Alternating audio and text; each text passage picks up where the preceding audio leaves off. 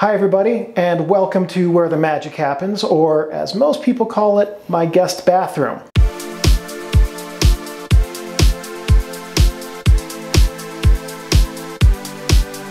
You can lie on my feet if you want. Okay, good boy. That's a good spot for now. Good puppy. Yes. Today we're going to be talking about how to develop film at home. There's more to developing film at home than just having a couple tanks and the chemistry. You need to have a space and a workflow, and most importantly, a space that's conducive to your workflow. So what I'm going to do is I'm going to show you how I set this space up for film developing, and that'll give you some pointers on what you can do. First thing, we have a spare guest bathroom. Not everyone does. But for the first five years that I developed film at home, I only had one bathroom. So a lot of the tips and tricks that I'm going to show you here can be used if you only have one bathroom so that um, you can still use that bathroom and not just dedicate it to film like this bathroom's been dedicated to film. My entire film developing workflow is centered around the bathtub. So what we're gonna do here is we're gonna set, start off with the bathtub. I'm gonna show you how I have everything set up so that you can understand why this is the most central part of the workflow and things you can do to make the developing part of it easiest. Now the reason I use the bathtub is that it's very easy to contain all the chemicals, splashes and things like that can be easily washed away with the shower. And in general, bathtubs are meant to be easy to clean. So if you do get some developer or something like that, which you will 100% guaranteed when you pour it out, in the bathtub, it's very easy to scrub it clean, okay? Also, hopefully you're not like food prepping in the bathtub or like using your toothbrush in your mouth and your bathtub at the same time. So keeping your chemicals in here and washing it well when you're done will also help reduce your exposure to it. If you let your chemistry sit in the bathtub after you've had a spill or poured it out, then you're going to have an issue with it seeping into the plastic and possibly if you taking take a hot bath, it coming back into that water. If you want to be very particular about your chemistry, if you only have one bathtub, most bathtubs are set next to the toilet. So it's really easy to take the chemistry from the bathtub and pour it out in the toilet when you're done with it.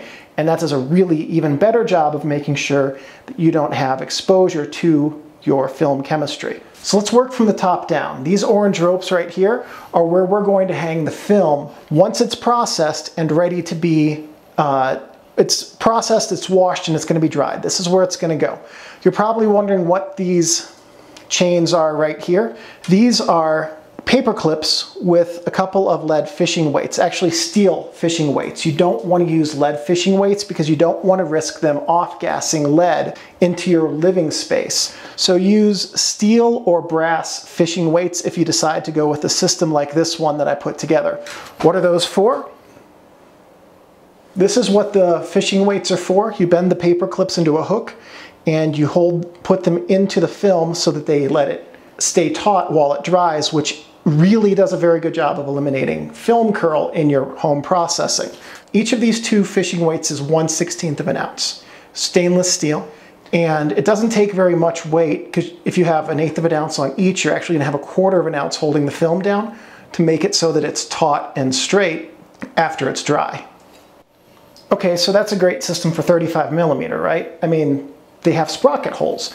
Not only can you put the weights in the bottom of the 35 millimeter, you can put paper clips up at the top of your rope here and hang the 35 millimeter.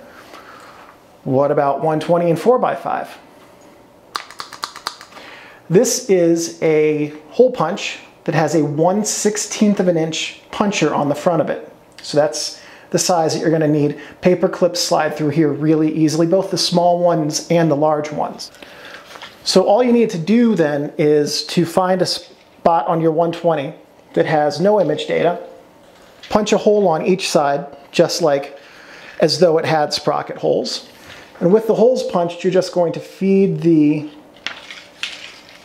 weight like that, one on each side, because you want it to be evenly weighted on the bottom and then you're just gonna let it hang dry. And that for 120 is gonna work really well. For 4x5, same thing. All you have to do is take an area in each corner on the diagonal and you're gonna punch outside of the image area. So ideally where you have the um, frame from the dark slide, or the film back rather. So you punch one on each corner diagonally, and then you're going to feed one through the paper clip on the cord, that's the rope that's for the drying, and the other one at the bottom, you're gonna put one weight and that holds it very nicely and lets all of the water drip to that corner and then into your tub. And you end up with a very clean negative. When you have these very straight negatives, because you have weight at the bottom and they're hanging in a very, very straight line, the water sheets off of them more easily, leaving you with a higher quality finished product after drying. So I already showed you what the command, what these little cable ties are doing. We'll get back, they hold up this cord. I picked orange for my cords so that they'd be high visibility, but you could use anything strong enough to hold film from like 10 pound monofilament line, um, just some standard twine that you could get at Ikea when you're loading up furniture, whatever you want. I just wanted to be able to see very easily where the ropes were here. And what they do the ropes, as we pan over, you can see stretch along the entire length of the tub. And you can hang the film across them. Now, the film will, to an extent, start to pool in the middle, as you can see here with the two sample rolls that I have up still. But it's not that bad. And the paper clips in this type of rope specifically tend to offer enough friction that the film doesn't really slide into itself. And as long as you keep it a little bit apart, you're not gonna have tons of issues with the film touching while it's still wet. But you'll notice that what I use to hold these in place are cable ties that are attached to the tub with command strips. I use just standard everyday wall command strips. If you use your bathtub, you need to make sure you have the bathtub and tile command strips. Why did I use cable ties? There we go. So I used cable ties like this because if you only have one tub, all you have to do is undo one side, bring it over to the other side, and now your entire cord for drying is out of the way when you want to use your tub. And I put them inside of the tub here so that everything would be dripping into the tub basin itself, but also so that if we ever put a shower curtain up here, that these aren't in the way of the shower curtain. This is how I attach the film to hang it. It's just a paper clip and I've bent it like this so that it can hold the film through either the sprocket hole or the little tiny punch hole that I've put into it. And these work really well. So if you were to pick up a box of 100 paper clips, uh, that's like a what, buck or two bucks at any of the office supply stores, you could make 50 pairs of the hanger and the hook. So that would give you a, a lot of film you could develop. If you develop exclusively 35 millimeter, that's 25 rolls at a time, same thing for 120. So what I did was I have this set up so that each one of these three different format ropes can do 10 pieces of film at a time. There are 10 pairs of hook and weight combinations for the 4x5. And then there are 20 pairs each for the 120 and 35. Since the 35 and the 120 need two hooks and two weights, that's 10 rolls of film on each of those. So what that, what that let me do is inform my pinch point. Your pinch point is the, the lowest volume of stuff you can get through at one time. So, or bottleneck, it's also called, where you have this large flow and it comes to a pinch and it can't all get through and you can only get a bit of it through. My pinch point or my bottleneck in film developing is the drying. Everything else that I want to do, I can do more of. But because I can only do those numbers of sheets or rolls for drying, everything else has to be adopted to this quantity. So let's talk about one of the most underrated but important pieces of darkroom equipment. This brown wire frame right here is just a standard shampoo and soap holder that you would find for any bathroom. I've used it now, this is the third apartment that I've had it in. It's absolutely fantastic. This particular one, I don't remember where I got it, can hold five tanks across here which means with two shelves, it can hold 10 tanks. So there's 10 tanks of drying here. That's, that's a lot. That's way more tank drying than I have space to dry film with the paperclip system that I've put together. This is, a, because this hangs from the pipe for the shower head, any water that's in here will drip down into the tub and you can easily clean it up. But by the time you put any tanks in here, they should have minimal chemicals left. You'll have rinsed them out.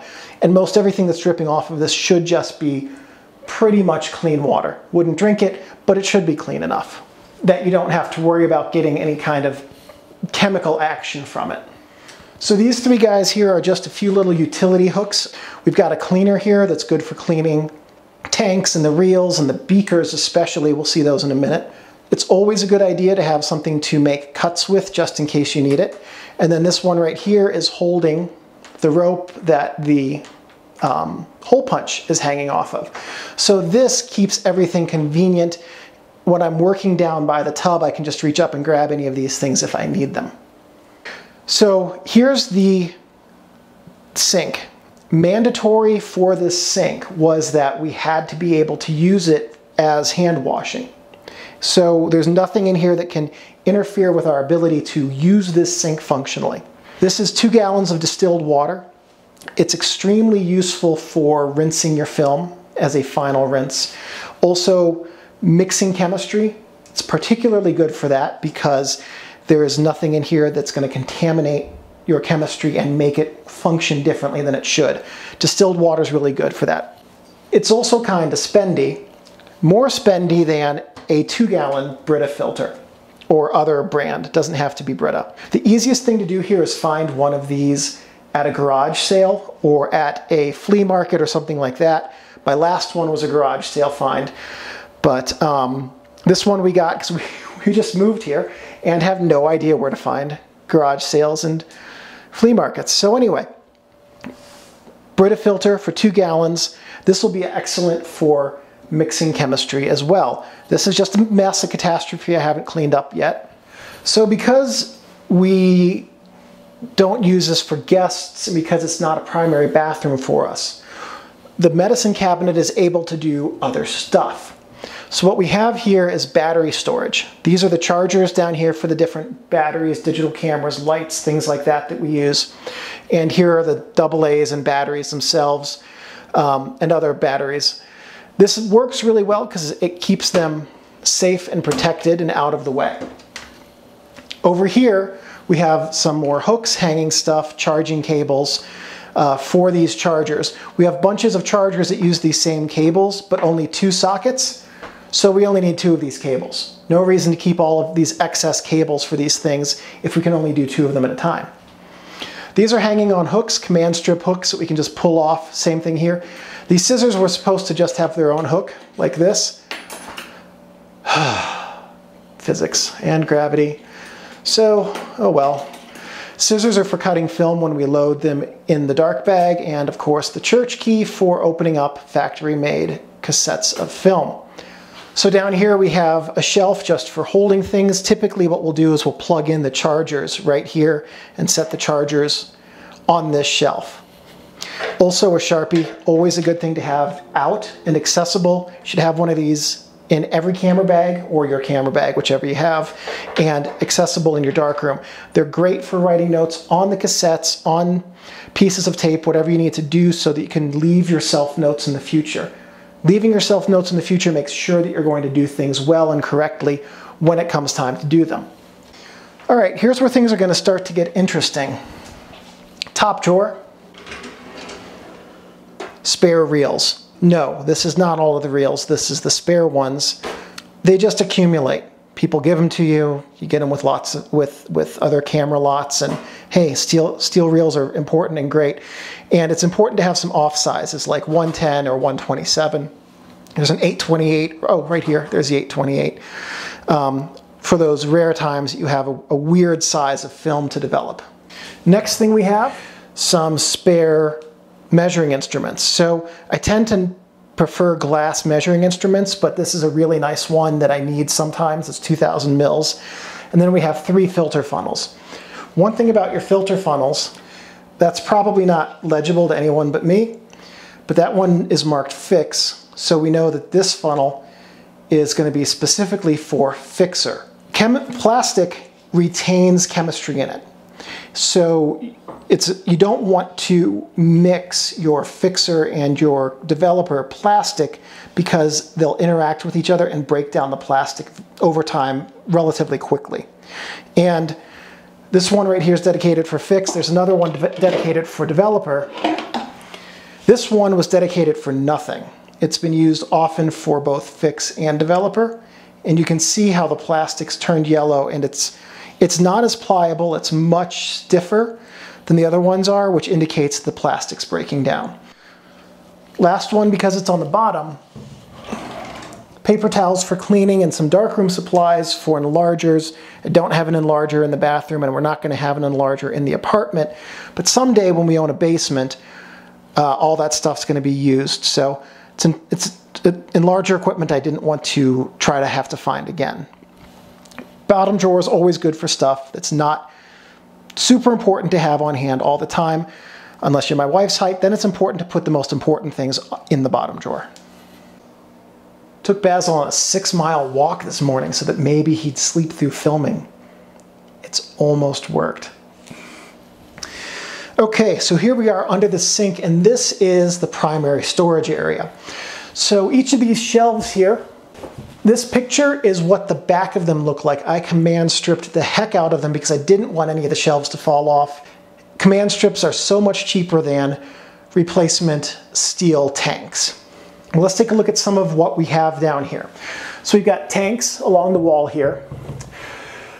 Tanks along the back. In the very back, you can see here we have more tanks. These are the biggest tanks, and then the 4x5. So this is rough. This is roughly arranged by how frequently I use the different sizes of tanks. And just to make storage more efficient, each tank is filled with reels as well. Here we have our D76 and Fix and they're marked with the date that they were mixed, which is a really good idea. And the other thing that the Fix is marked with is how many reels it's been used for. So whether the Fix fails because it reaches the expiration of its mixed shelf life or because I've hit 60 rolls. Usually I go shorter than 60 rolls anyway. I'll know. We have the glass beakers, chemistry storage over here, things like that. There's a little shelving unit with some extra parts in the back. The glass beakers here are nested. This is the smallest of the beakers. It's a five milliliter beaker. This is used for measuring things like Rodinal. This largest beaker right here is a 2000 milliliter. We also have masking tape and electrician's tape. The masking tape is vital because when you want, take your, you're gonna use a Sharpie and you're going to write on it the type of film, the developer, the time, and then you're going to take that masking tape that you wrote on and you're going to stick it to a blank part of the film for roll film so that you can keep your developer information with the roll film when you put it into negative sleeves. The electrician's tape is important because whenever you film into this tank, you're going to put a bead of electrician's tape around the outside of it so that it doesn't leak on your hands when you're doing your inversions. So this is a film washer. It's right now my temporary pinch point because it can only do 12 sheets of 4x5 or it can do um, six rolls or eight rolls rather of three uh, 35 millimeter or four rolls of 120 and washing them. It's a siphon washer by Gravity Works if you're curious. Very nice, very efficient. It's got this long tube on it and if you notice the shower head has been replaced with a hose uh, nipple. This connects right to the shower head, goes in the tub, and then the water, the rinse water just flushes right down the tub. So let's put this whole thing together, okay? When you're in the process of developing in your home lab, you've got your roll of film or however many rolls of film you're going to do at a time. Know your capacity, know how many rolls of film you can actually manage and in a future video, we'll talk about staggering developing and how to develop up to 10 tanks of film at a time, uh, 20 in a night if you're really, really ambitious. It's, it's tough, but we'll, we'll I'll show, tell you how to do that. Right here, uh, as you're developing your roll of film, and you go through and you finish, and you go through each process, dumping out the developer and the washing and then fixing and then re replacing the fix in the tank. After you've developed it, then you'll take your washer, whether you're just washing at the bathtub or um, spigot or whether you have an actual washing system. Even some of the ones I've shown you in previous videos that you can build yourself work really well. After you've washed it, then you can take the parts of your film tank and put them up in the wire rack to dry. You've got your film reel. Oh, and you'll notice behind me, I think, that there are a couple of soap holders, wire soap holders, perfect for holding caps. The shelves up here are perfect for holding your uh, empty beakers between uses so that they, they uh, are out of the way. At any rate, now you've got your developed, fixed, and rinsed roll of film. You can simply take it, put a couple of clips on the end as weights, hang it down here, or clip the end up here to the um, hooks that you've got, feed it off. When you get to the end, then hook the weights, whatever works best for you. After you've hung up your roll of film to dry, you're going to take the masking tape off of your tank that tells you what your developing information is. And you're going to put it somewhere on your roll of film. Uh, that's just blank, but you'll put it somewhere on your roll of film so that you can keep that information with it. Once all of your film is hanging, turn on your bathroom fan, let it sit overnight. Now, like I said, for the first five years that I developed film at home, I only had one bathroom. And that meant that if I developed film at night, which is what I did, in the morning I'd have to go in and then I'd need to shower before work.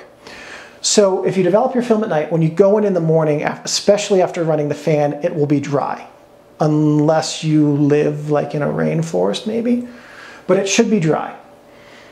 You'll be able then to roll it up to store it or put it into sleeves if you want um, at that point. You can then take your ropes, unhook it from one cable tie and go to the other cable tie, and now you can move in and out of your uh, shower safely. If you want to put your film tank away right away, that's fine. If not, you can leave it there. It'll just re-dry out over the course of the day and put it away that night. Depends on how lazy or tidy you are, whether or not you're me, basically. And then everything else we have in here could also, if you're using just, if you just have one bathroom, could do double duty for holding your soap or your shampoo or something like that when you're not using it for developing or you could use these just to keep them out of the way so that your soap and shampoo aren't in the way when you're doing your developing down here. So whether you have one or two or 19 bathrooms, you can develop film at home and just doing some clever things to make your developing setup modular or collapsible might be a better word. Using easily undone cable ties so that you can move things out of the way. Taking your equipment and dedicating a space in storage for it. Now if you don't have much and you only want to you only need to fill up one drawer, only fill up one drawer. Adapt your space to the amount of equipment you have in all probability, you're not doing bulk developing events like I am on a, on a regular basis. So adapt it to the size of your need. Don't get too much equipment and don't have too little. Have the exact amount that you need. And if your whole workflow can be geared towards the amount of film you're going to use at one time so that everything is like a, a uniform pipeline and the same amount of work can go through it, you're going to have a very, very efficient workflow. So whatever tips from this you take and adapt to your own darkroom will hopefully help. Uh, there's been a lot of content in this video, and a lot of it was pretty much a dry, different things, point by point by point. But in the comments, let me know which of these different ideas for setup and storage and things like that you liked the most and which ones you expected the least. That will help me as I make future videos and also let me know what part of these things are really working out pretty well for other people as well as for me. So give me a thumbs up if this video was helpful. You can like and subscribe with wherever YouTube's put that button when you're watching this video. Uh, feel free to check out some of my other videos on darkroom processing and techniques, how to make film washing solutions for cheap and things like that. And as always, thank you for watching and take great photos. Basil, Basil, I can't record.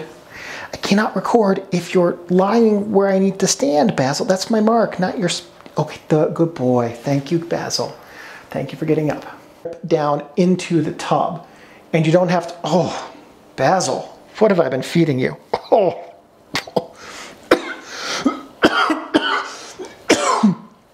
oh my goodness. Don't look at me like that. That was all you.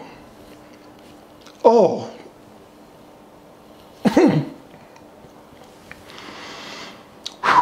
oh boy. Oh my goodness, Basil. I'm gonna have to turn the fan on and that's gonna sound horrible on this video. Yeah, just sleep. Okay, good boy. 12 sheets of 4x5 or, oh, Basil. You're good boy. But those farts. So when we put it all together, when you have your roll of film, hi Basil. Oh, good stretch. Good stretch. Yes, you're a good boy. Yes, you are. Stinky farts, but you're a good boy. Basil does not agree with that statement. Or he's snoring. I can't tell. Might be snoring. That's what you get when you walk six miles, Basil. yeah, you're snoring. Yeah, good boy. The new dog is a charged particle. We have to walk him about six miles almost every day to get him to be calm. And he has such separation anxiety that since Christmas Day, we actually haven't been able to leave him alone because he figured out how to get out of his cage, which is not an easy to escape cage. Open our doors inside the apartment, and he got the deadbolt to the patio, and we're on the fourth floor, halfway unlocked. And he likes standing up on ledges and looking out the window, so I think he wanted to get onto the patio to look for us or stand on the, balcony railing and look outside, which would have been really bad because he also doesn't have good balance just yet. So he's a great dog, but uh, I'm looking forward to the day when we can actually leave our apartment, both my wife and I at the same time. Yes, that'll be a nice day again, won't it, Basil? You're a good boy. You're a good boy. He's like 18 inches tall. Walking six miles for him would be like me walking, what, 24 or 36 miles, something like that. I'm glad to see he's sleeping. Not glad to see you're farting in your sleep, though. Holy cow. Oh. Anyway. anyway. Okay. Well, you woke yourself up with that fart, didn't you, Basil? Yeah, you did. anyway,